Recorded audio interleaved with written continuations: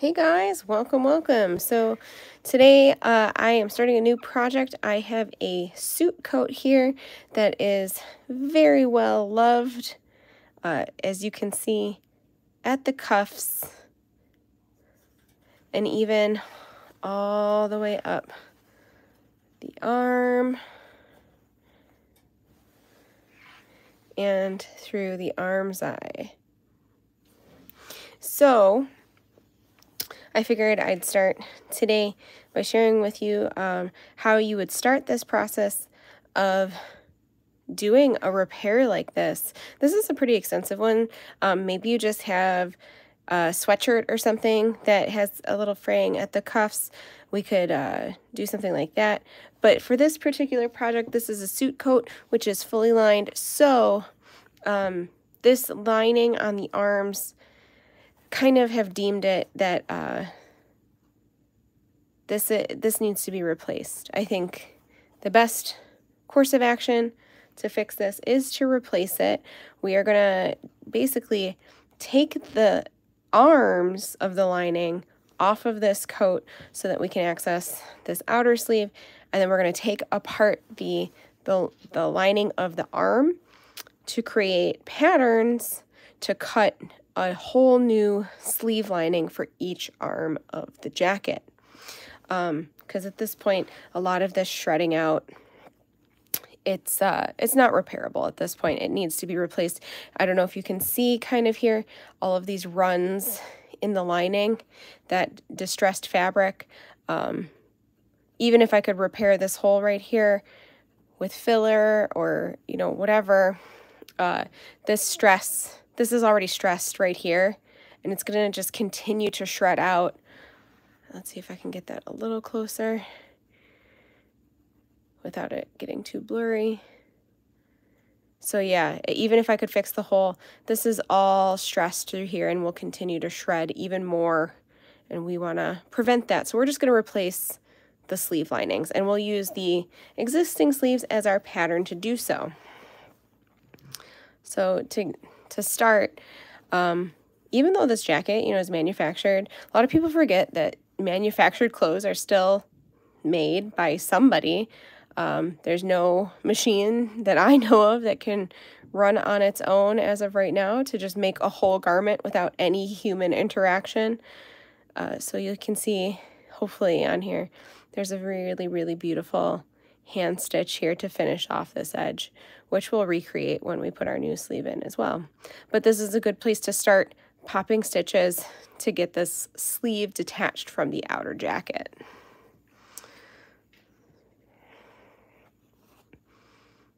Just looking for a good starting place. Oh, and I want to show off this today. This is one of my favorite seam rippers. This is pretty sweet. Um, it's actually, it's not just an ergonomic seam ripper. It has two ends to it. This, so this is a point turner on this end and a skinny seam ripper on this end. And when you're not using them, you can just pop that out flip it back inside, and so to, and this end does that as well. So that if you travel with it, or if you put it in your pocket, you can uh, safely travel with it and not stab or rip everything apart. Um, and I got this on Etsy. I will try to look up who I got that from, but um, I definitely I got this on Etsy. I thought it was a really cool color.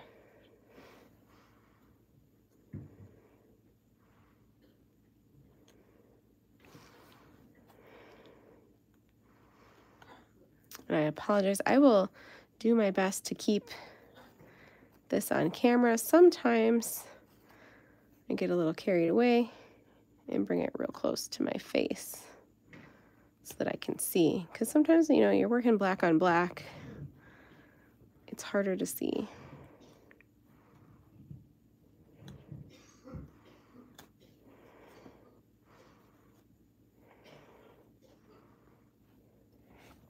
As I get going here. I'm just trying to figure out what the chaining of this thread kind of is and what it does so that I can easily get it apart.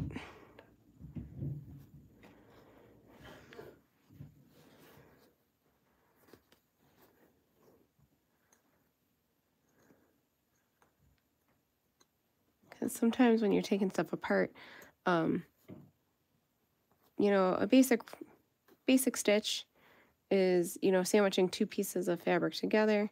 But sometimes when you're hand sewing or even um, if you have serger seams, uh, they can be directional. And what I mean by that is that if you pull certain threads out, um, that kind of interlocking chain that it creates unlocks and then it's a lot easier to pull the stitches without having to do a ton of heavy lifting.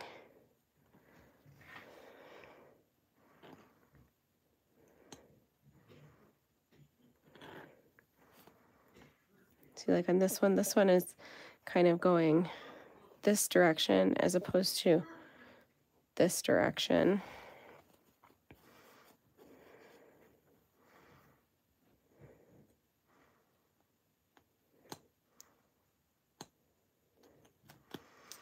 And uh, some people say, like, you know, you're just going to cut that line, you're going to cut a new lining.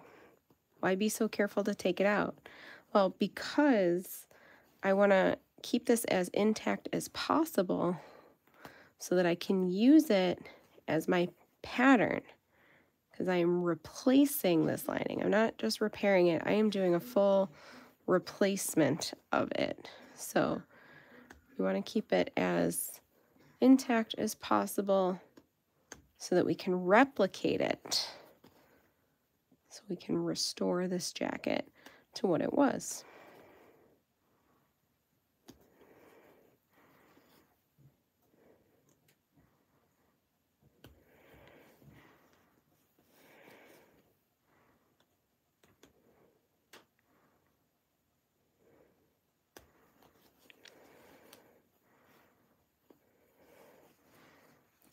See, we're a little bit more than halfway around.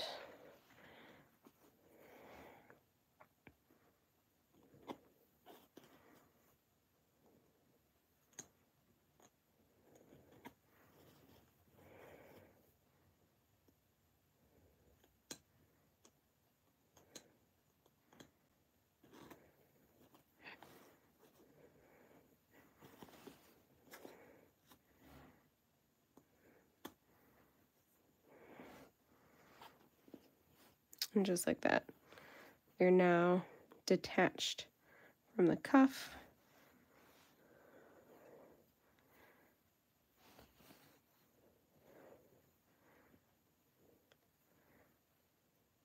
Little interfacing on the inside for those of you that have never seen a you know a jacket apart like this. This is a camel hair jacket. So so yeah. Now that we've got it detached from the cuff, the next place is actually the uh, this right here in the arm about, you know, halfway down. There's a connection point on the inside. This is put in to help keep the lining from shimmying down the sleeve and poking out of the cuff. Uh, but sometimes it also creates a stress point like it has and has helped to shred this out. So now that we've got that detached, we can go up to the top. Now this probably is the, the hardest point because this is actually seamed together and it's, um, you can kind of see here on the sleeve where they've top stitched the sleeve shut, that's where they've turned the lining or turned the jacket through the lining so that there is a flat flat seam here in the armscye. Sometimes you'll see the connection points in the armscye. Sometimes you'll see them in the sleeve. Sometimes you'll see them in the bottom hems. You know, it's just really wherever the manufacturer wants to flip the jacket right side out. Um, if you're feeling so bold, this little ball point on your seam ripper, you can kind of get into the seam and then really push and run to get that seam out. Uh, this is a silk lining and I don't want to, it's a very sharp seam ripper, so I don't want to accidentally slice through the fabric even with that ballpoint protection. So I'm just going to go a few stitches at a time here and try to get this open.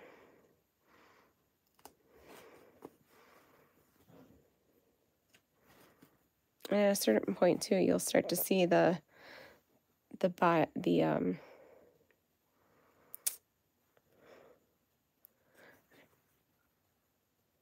the stay stitches that they've put in.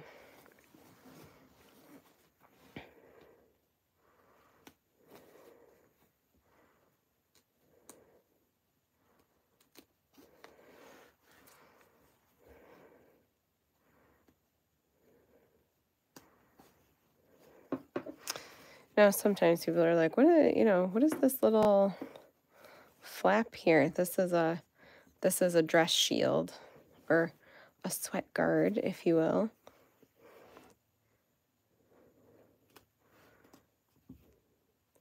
Help preserve your jacket.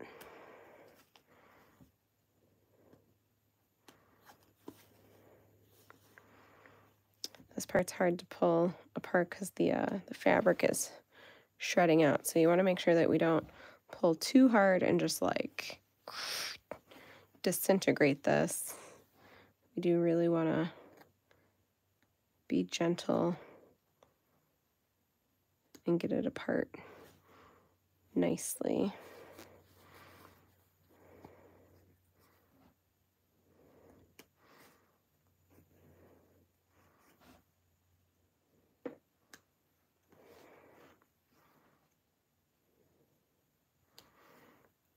And I apologize. I keep bringing that a little close to me because, again, black on black. I'm trying to hit the stitches and not the fabric. I think we successfully got that loose through there. So let's keep going.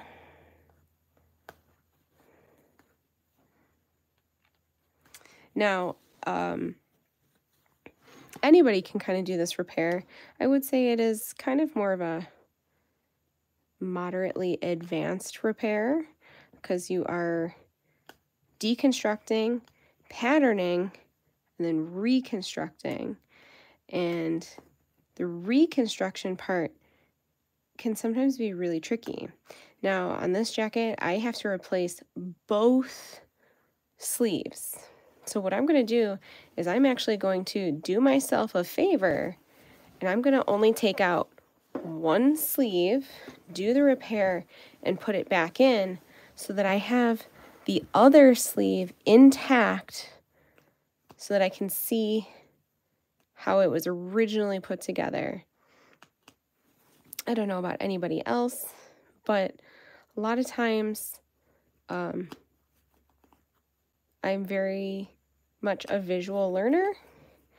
If you give me what it is, I can look at it, I can inspect it, and then I can kind of make it from there. I might not need instructions. I mean, don't get me wrong, they're helpful, but like in this case, I don't have any.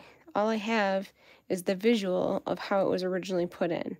So I will do one side, put it back together, and then I will take apart the other side and repeat the process. I also take a lot of still pictures of of these projects, not just to, you know, to do the before and after, which is great, don't get me wrong, but um it's really more so I can recreate how it was put together. Now see here, we might get into a little bit of a bind because there is a shoulder pad in here. So we're going to get a lot of these really little tight stitches that aren't going to want to let go very easily.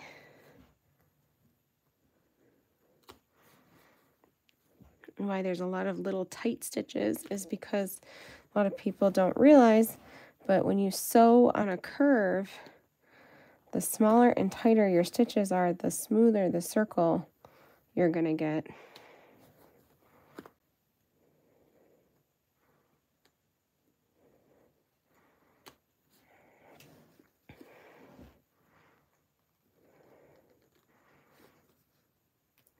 See, I don't to get in myself in trouble here. I really want to find an opening for that point to come through so that I don't slice the fabric. But you know what? If you do slice the fabric, don't panic. I mean, I'm sure you will. We all have been there. But um, fixable. Totally fixable.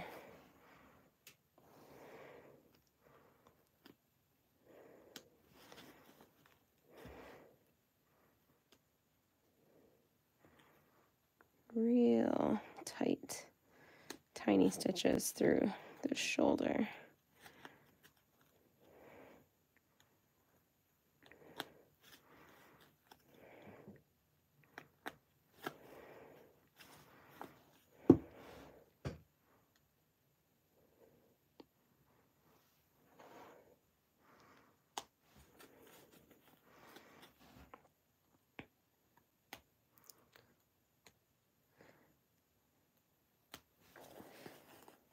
What I did in the first step too to release the edge of the cuff, that is how you actually would shorten jacket sleeves as well. Um, a very, very, very common jacket alteration is to shorten or lengthen the sleeves. Uh, and to really do that the right way, you're going to have to pop that lining away from the from the jacket cuff. Because you'll need, uh, you just need to get in there so you can, like I said, either shorten or lengthen the fabric.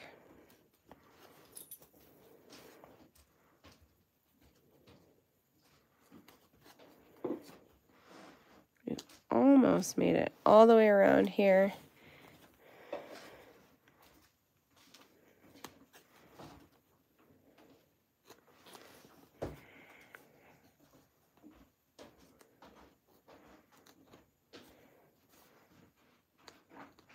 Can tell this is kind of where they've done a lot of their back stitching to put things together. So you just want to be cautious and make sure that we're only getting the stitches that we want. Okay, so we've gone through all of the black stitches. Now we're going to have to go through those stay stitches to get this sleeve off then you'll really start to see the meat and potatoes of how this jacket is put together. And it's going to look a little scary, but again, be confident. You will be able to put this back together. See, like right here, this fabric is just absolutely roached.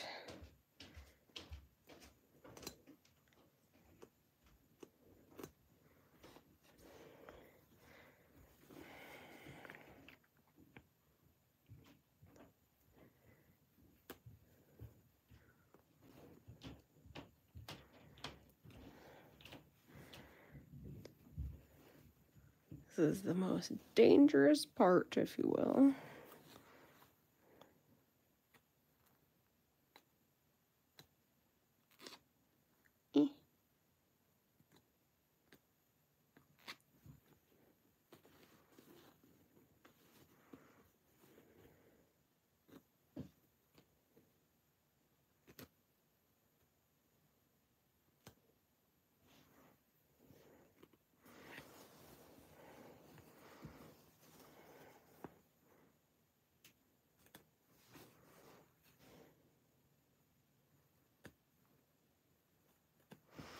And you do not have to keep the thread as intact as I sometimes do.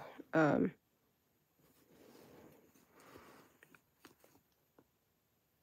sometimes I do that just so that I can pull out all of my excess thread easily, quickly, and not have to go back and pick everything out.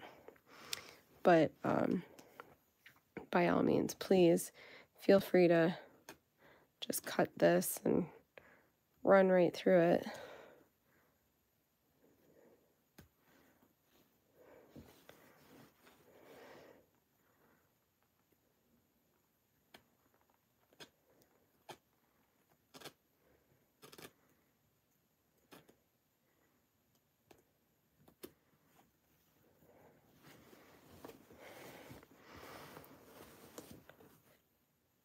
See, really start to see that in the insides of the jacket. All the stuff that they don't want you to see, you're seeing it.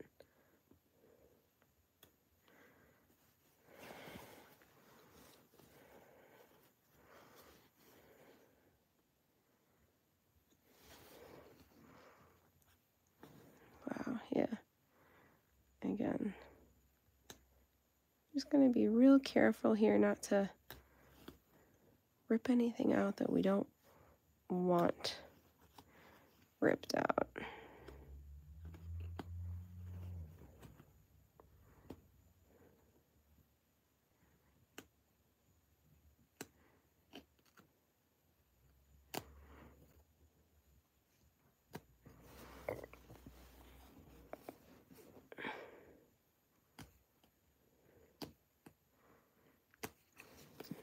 The intention for this jacket is that we are only replacing the sleeves, not the body.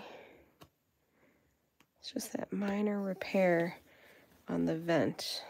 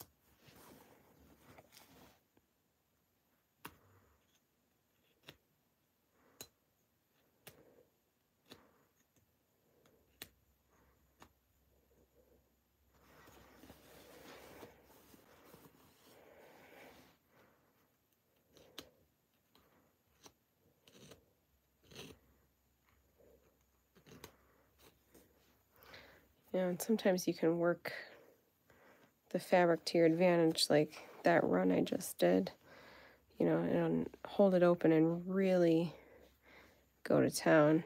But sometimes you have to go slow and steady, which is okay.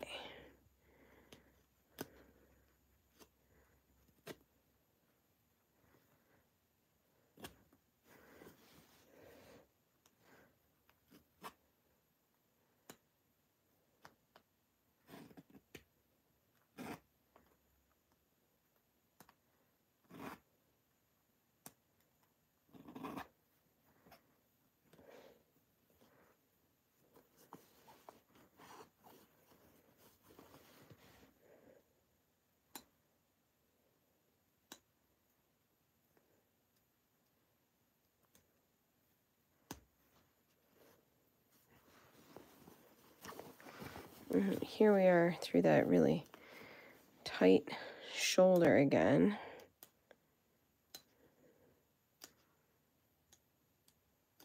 And as you can see, this extra piece of fabric right here, if you saw my, um, my live feed of cutting out the pattern for my bucket hats, this is the notch, the top of the armscye that lines up with this notch which is the top shoulder seam. So again, just for your own sake in patterning life, um, it's not just me who does that. You know, it's a pretty standard sewing thing that you cut notches when you're cutting your patterns so you know where to line them up once they're off your cutting table.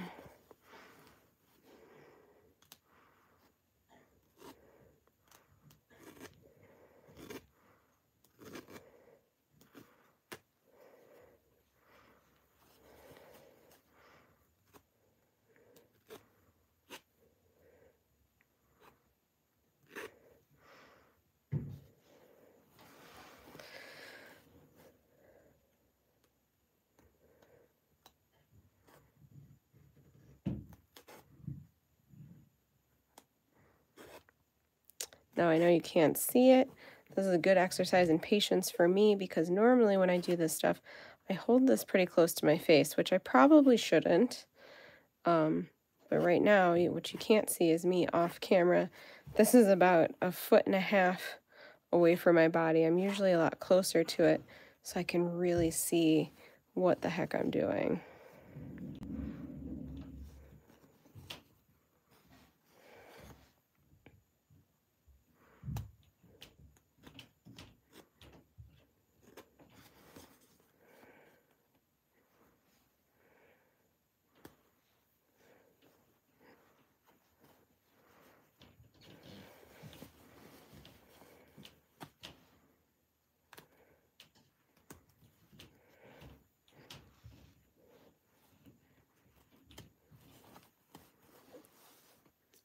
And there we have it. Oh, that one's from the, this side. Just give that a little trim.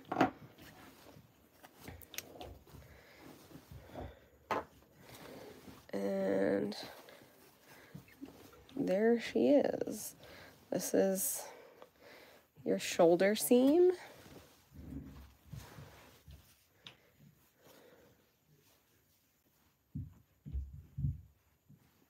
and your jacket.